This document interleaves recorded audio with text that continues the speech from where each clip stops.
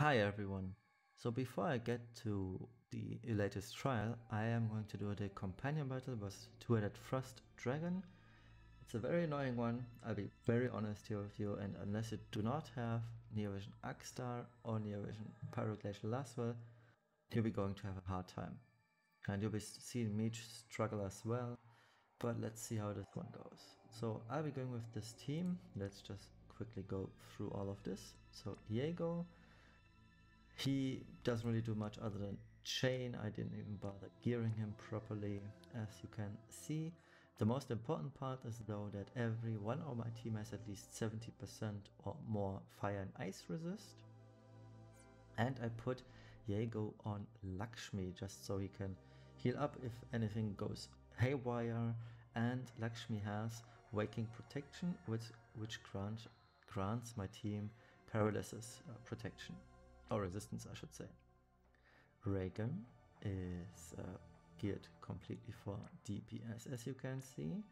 He has 70% ice and fire resist and he does sport 75% demon uh, dragon killer sorry now uh, Adele is full evasion and provo passive provoke she'll be taking all the hits and pretty much use Golem for the uh, Water Advances attack from the final boss, which is not a water attack, it's a physical based attack that cannot be, or it can be pretty much covered, but I'm not using a cover tank, physical cover tank.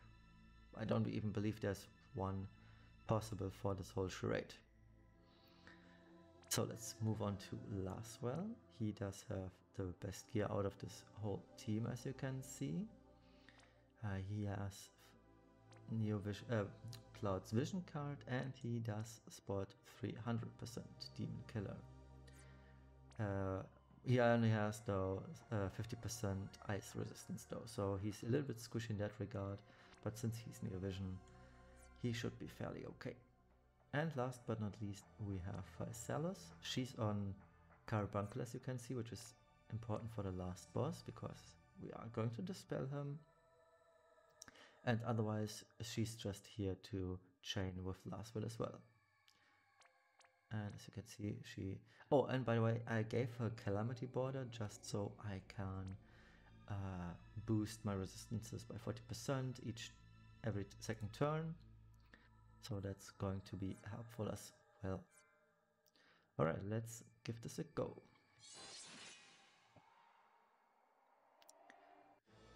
Alright, so Diego is going to Waking Protection.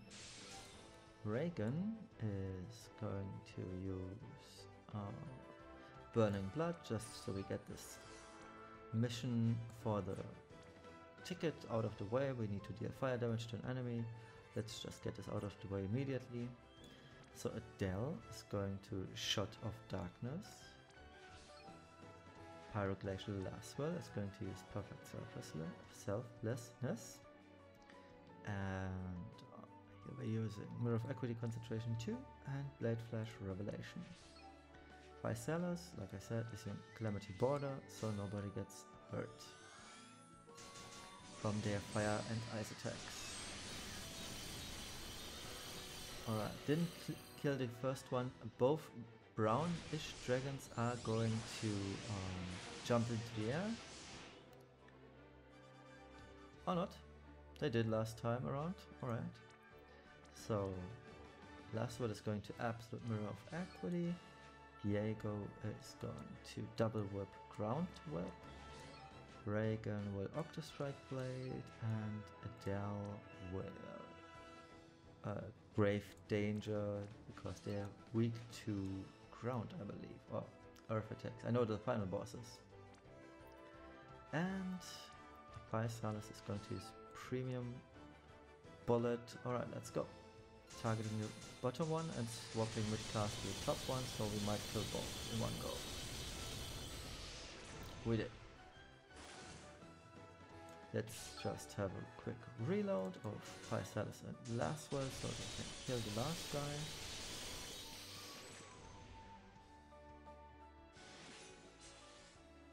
Alright, and here we go again. Jago is going to use Waking Protection. Physalis is using Calamity Border. Ragan will just use his Octostrike Blade. Adele is using her LB. I do not want to waste much of her, uh, any of her magic points yet. And one is going to use Concentrate, Mirror of Equity Concentration and Blade Flash.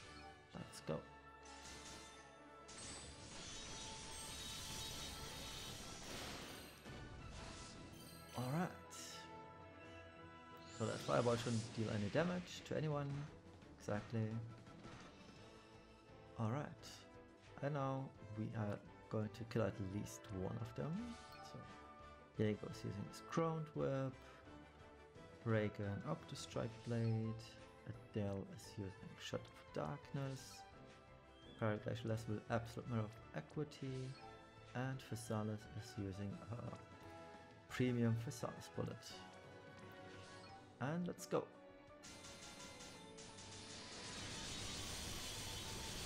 See if we can kill the last guy as well. No, sadly not. He survived with 28, 28% HP. But we're fine and still good on MP. So let's uh, have Ragan and Lasswell go and clear this up.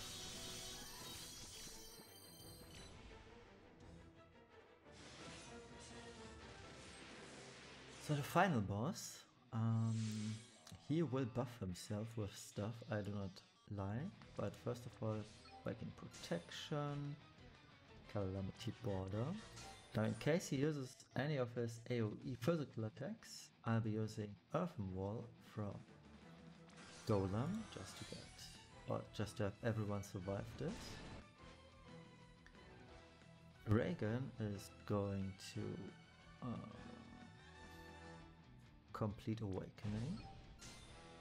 And Pyroglacial Lasswell is going to perfect self selflessness. Mirror of Equity Totality, just to have the defense broken of the boss. Although I should wait one turn, he's going to buff himself next turn. Uh, it doesn't matter, I do have two two charges of this, so Mirror of Equity uh, concentration, and let's go.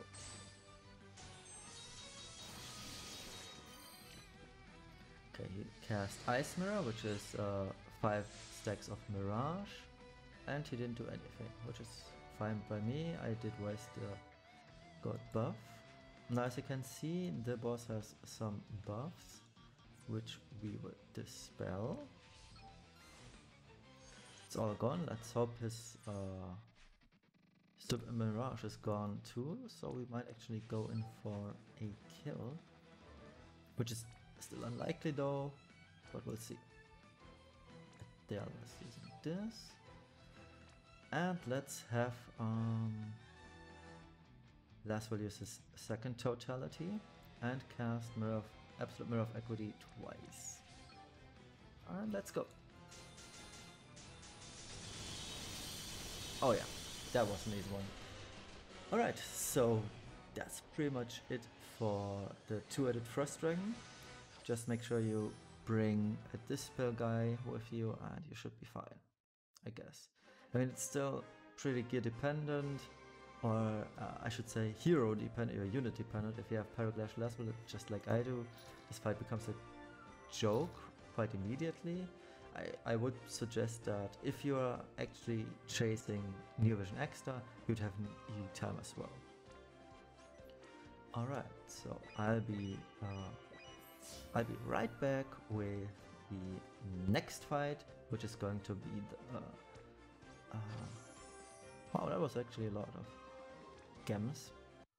It's going to be the Insignia fight, which I'll be showing you in a few seconds.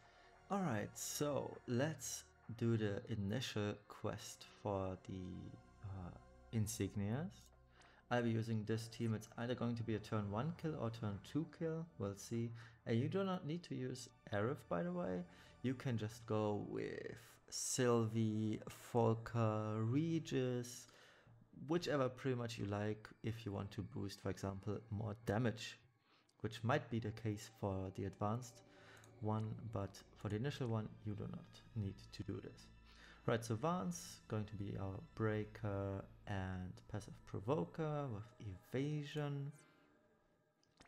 Uh, we have white mage Rosa, who is going to break the boss or break the break gauge of the boss. She's using Jiraiya's Clan Master's headband, so she can equip uh, katanas, which are beneficial to the fight as well as usual or regular swords. Uh, Aerith is going to provide some buffs, nothing really special about her for this case. Now Tifa, I'm not going to use her Brave Shift form, which is meaning I have uh, equip sword, use the Supreme Sword of Light, but really you can use any sword. I'd even suggest using a fire sword if you're for example going for a fire kill, uh, because Van imperils fire, so if you have a fire weapon that's even more beneficial. Alright, so she has Stone Killer and Human Killer as well as you can see 200 Human Killer, 175 Stone Killer, which is complete overkill for this initial stage. Uh, my Cloud has uh, Inferno Saber for the Fire Imperil, so oh for the Fire Element and making use of the Fire Imperil. He does have some human and stone killers well, as well as his own vision card, which is maxed. And I'm using a friend Rain Neo Visions. Although it shouldn't matter, you can use any one that changed with uh, chains chains with Cloud or Tifa. So let's give this a go at how I am doing this. Alright, so don't get confused, you have to target the main body first to get him broken. So Vahn is using his LB. Rosa is using Radiant Arrows twice, so we get rid of the break gauge. Let's have them go at it. As you can see, the gauge is quickly going by and it's reached zero. So Aerith is going to double limit Planet's Protection and Lustrous Shield on Rosa just in case something goes horribly wrong. Now you want to target the left arm first, which means you have to target the right one on your screen. Tifa does is using her Meteor Crusher thrice, and Cloud is using Focused Thrust three times, and the Neo Vision Rain Friend is using... Hmm, I mean, I could use Astral Edge. Makes things even easier, so let's use this one. Uh, the usual thing is, once you cast all those spells, you want to switch immediately to the left arm, or the right arm for that matter, and switch back to the boss, who's not going to die, is he? Oh, he is. So that is the easiest way, especially if you have Neo Vision Rain. He makes this fight a complete joke as you've just seen. Otherwise, you'd have a second turn where the main body is remaining, but if the main body remains, the boss does nothing on turn 1, so you can just chain him to death on turn 2. Alright, so see you in a bit for the final one. Alright, so nothing has changed at all from the composition. I also use another Neo Vision Rain, so let's just dive into this, see how this one goes but the basic fight remains, meaning after he's done buffing, we will reload, Rosa and Vahn do their things,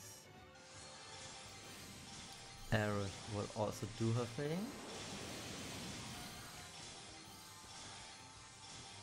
let's hope this is enough, yes it is enough, perfect, it was close though. Alright, so let's target his left arm.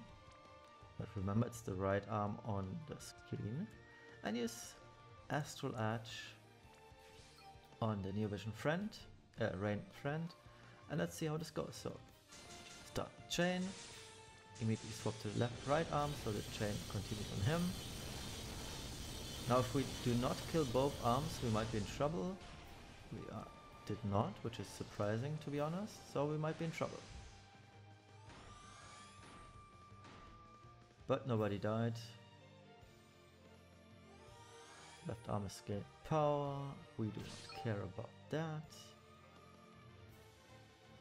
So Aerith is going to Lustrous Shield on Rosa again. And what else can she do? Let's use Physical Liberation so we heal up a little bit. Let's do this again. Vaan. Rosa. She doesn't really do much, so nothing on her for the moment. And let's this a go. Now we wait until this arm is dead Alright. And now the golem himself remains. Let's just use Rosa's LB, because there's nothing else to do. And as you can see the boss doesn't do anything right now. Other than doing one damage. So he has no buffs left. Wait, did he actually dispel himself? Oh no, it's good. Alright, so let's reload. I mean, by this point, you might have opted for Tifa's LB kill, which would have been fine either way. Alright, so reload. Let's have Aerith do her thing, just do some damage as well. Just in case the boss doesn't die, we will chain you do some damage with him. Two, and let's go in. Yeah, but this isn't really a this isn't really hard. Uh, would I have known in advance that it's going to take me three turns for this boss, I would have geared uh, uh Tifa's Brave Shift form just to have the boss dead by turn 2. But I didn't know this before. Still, it's pretty easy to be honest. So yeah, there you go. And it might have gone easier if I actually chose a unit that could buff my attack for Cloud and Tifa and Rain, Neo Vision Rain. But as you've seen, it's no trouble either way. So that concludes the uh, dailies and challenges for this week. I'll be going through the Coral trial next. See you in a bit.